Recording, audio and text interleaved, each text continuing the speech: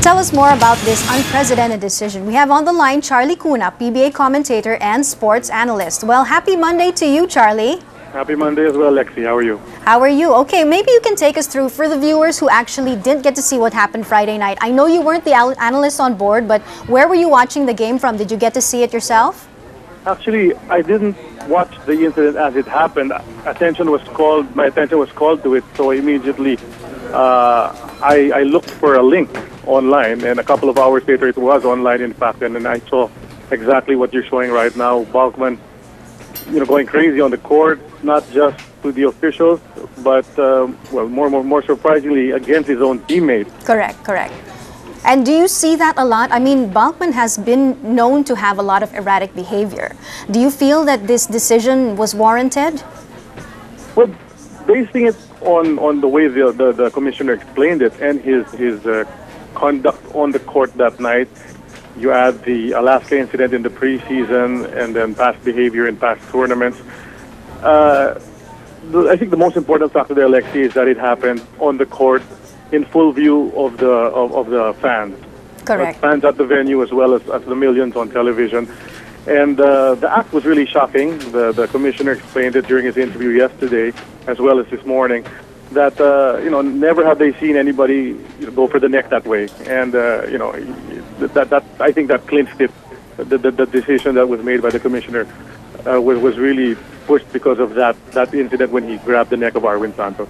Well, this is the first lifetime ban the PBA has ever issued. Do you feel that this can be appealed at all, or do you feel that the decision is completely final? I, I believe it's going to be final. I, I, I guess Petron, uh, the franchise uh, with the rights over of Balkman, who hired him, might try to, to file a motion for reconsideration.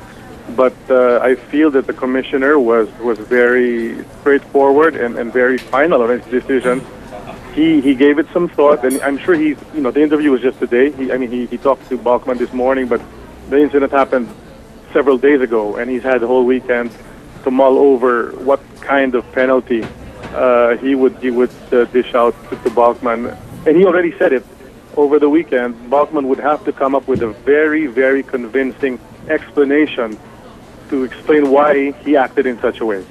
And have the other players already reacted? Have you talked to anybody at all? Are they more shocked at what went down, or do they welcome the discipline that will come out of this? Well, I've been following uh, Twitter and all the other social media, and I've talked to a bunch of my, my colleagues in the industry uh, today.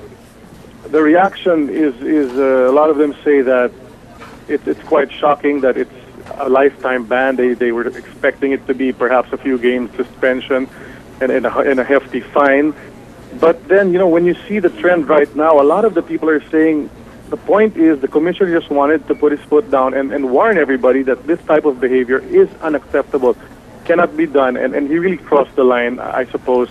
Uh, you know, there were many people watching this, and, and the initial reactions, I think, were, were the most genuine ones. And, and the horror that people expressed over what he did immediately uh, would, would really call for that type of decision from the commissioner.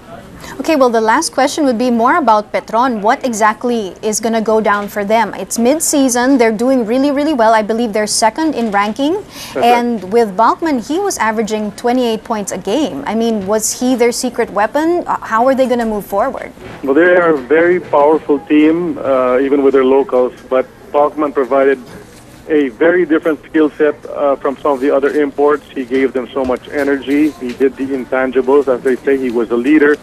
And he's a six-year NBA veteran who brought things that the other imports have not been able to bring. So definitely he's going to be a big loss.